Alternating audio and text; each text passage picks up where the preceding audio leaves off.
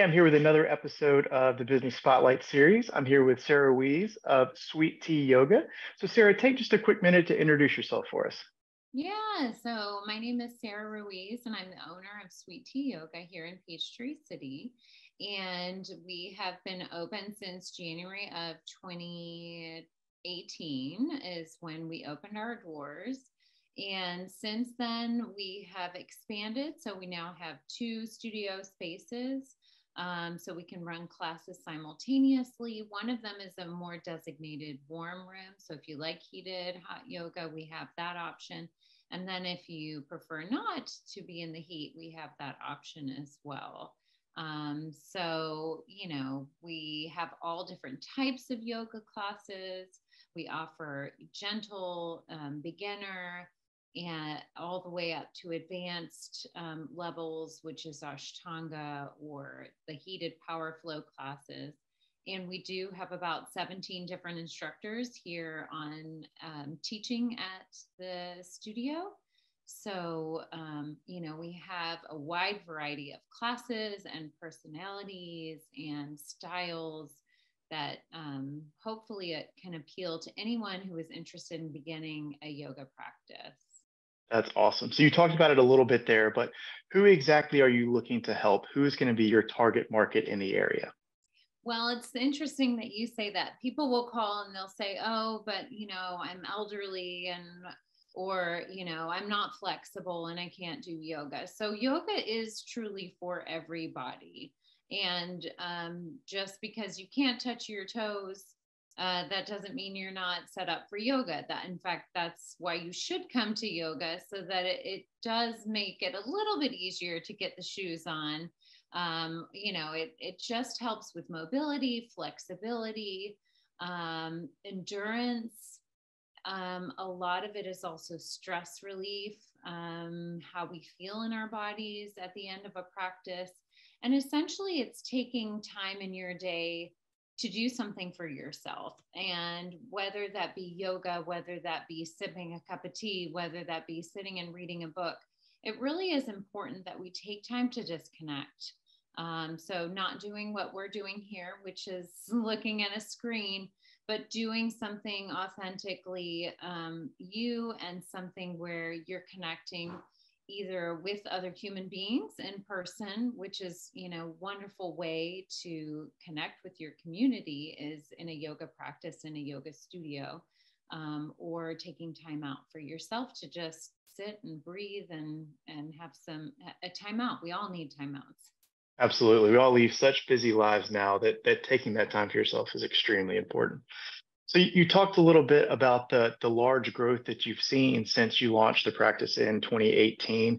What do you attribute all of that growth to? Well, some of it is information, right? I mean, one when we opened our doors in 2018, there really wasn't another yoga studio in, at least not in Peachtree City. Um, so a lot of it is education. What some people don't understand yet is, you know, I will get phone calls every once in a while, and somebody will say, I'm a Christian. Um, can I still practice yoga? And the answer to that is absolutely yes. So, yoga originated in India as a philosophy. Um, however, the way we have sort of changed that to meet our Western ideals, it is truly um, it is a blend of the original yoga as well as a physical practice. So, really, you get out of it what you put into it. Um, if you want to get that spiritual side out of it, you can do that. As a Christian, I'm a Christian, you know, you can take that time to connect with God, you know. So, it's really what you put into it, what you want to get out of it. Um, so the growth is from education. Um, you know, some people are understanding like, oh, this is what yoga is, and it feels good, and I really enjoy it. Um, and then also, you know, building a community is is a beautiful thing, and it's something that I never really envisioned. I truly created the space because I love to practice yoga, um, and I wanted, I needed a space to practice and the fact that so many other people have come and benefited and just really get a lot out of that practice um, is a beautiful thing. You know, uh, we do genuinely have a wonderful, wonderful community. Absolutely. So you talked a little bit about you have a team of 17 or 18 different instructors now. When you're bringing on new instructors and growing that team, what specifically do you look for?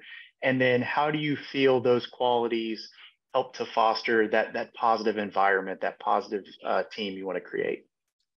Yeah, so yoga is really about acceptance, right? And it's kind of accepting people as they are and as they walk in the door. And we are meant to be completely different human beings. So when a, an instructor comes in and she's authentically herself or he's authentically himself, you can tell right off the bat, right?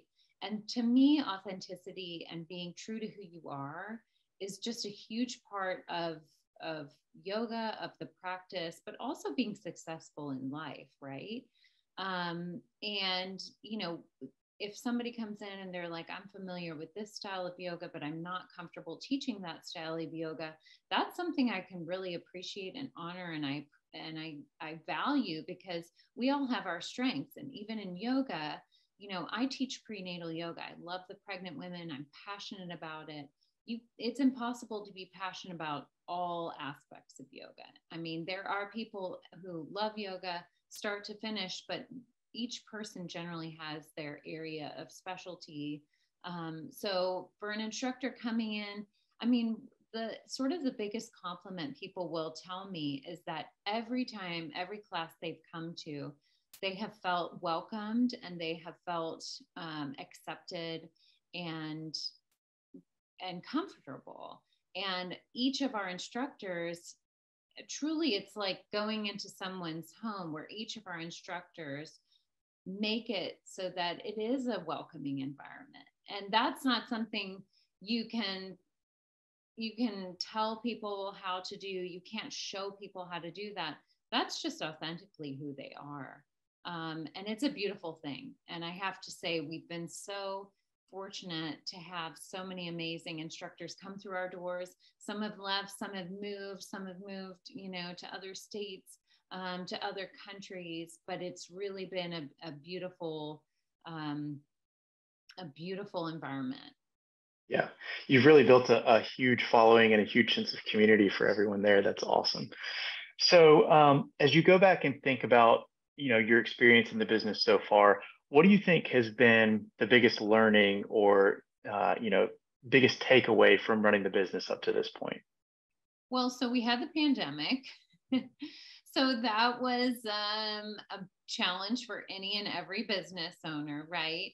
We were so fortunate in the fact that we could run our business online. And so after i think you know the first initial month or so we managed to launch everything via this wonderful platform, Zoom. Um, you know, it's a love hate relationship, but we could move everything online. We could still connect with our people. Um, and that's always difficult. No, is, is, you know, spontaneity and, and being flexible and, um, and making big changes quickly i mean sometimes you know it happens. We and you know on on a smaller scale not a global pandemic but you know when an instructor walks in and there's water pouring through the the ceiling because a, a pipe has burst you know it's like ah what do i do? You know get the towels and but these are things that you know that's life right? Life is life can be messy and a bit a bit of a mess, but you know, we roll with it. The actually just we've had some crazy storms just recently. And I think it was Monday night. Um, we lost power, and the instructor said power went out 30 minutes before class. She ran the whole class. They did the whole thing in the dark. Um, I mean, you know, we've got the beautiful floor to ceiling windows, but I think everybody was just happy to go with the flow, you know, like, all right, we're here to do yoga. Let's just we're doing it, you know? Awesome. That's awesome. So you, you talked about adjusting to some of the curveballs that you're thrown. So how do you balance your personal life with all the different demands you have for running the business? Yeah, so that's a that's a tricky one. And as you know, you have a family, you have kids. um, that can be tricky, right? Especially when you are a business owner, because when you go on vacation, there's, you know, there's still no switch off. Um, I have four kids, you know, different ages, uh, kind of all over. They're in a bazillion different activities. So, um, you know, I mean, it's just about balance. I try and do as much as I can during the times that they're occupied in school or in activities. Um, and then I really do try and prioritize. For us, it's super important to sit down and have a meal together. Um, so we really try and make that happen, you know, almost every night. I'm really grateful because I have some amazing instructors who have more flexibility in the evenings and they can take over at the studio.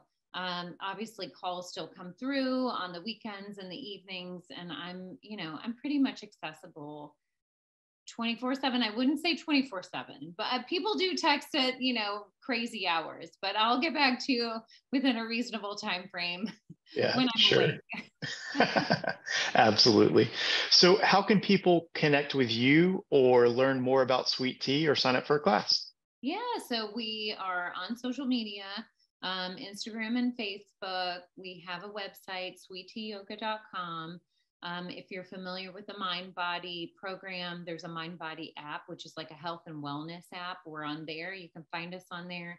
You can sign up for classes. You can see any specials we're offering. Um, really, social media is probably going to be like one of the quickest way to see what's really coming up. Um, we have an awesome gal who runs our social media, um, who's also an instructor at the studio. Um, but yeah, so our website, but I mean, I'm happy to speak to people. And so feel free to send me an email. But if you want to just get to me quickly, pick up the phone and call. Honestly, it's really, I'm old school. I'm happy to chat on the phone. Awesome. I will link all of that information in the description so people can reference it easily.